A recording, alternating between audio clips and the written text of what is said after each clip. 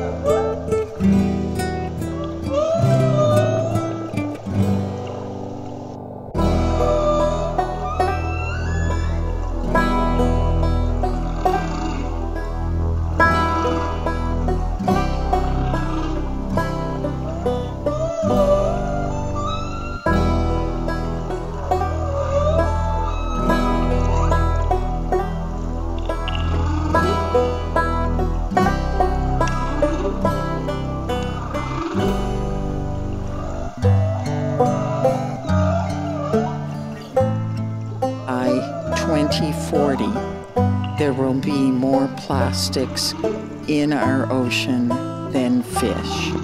We together can change the course of history of plastics in our ocean.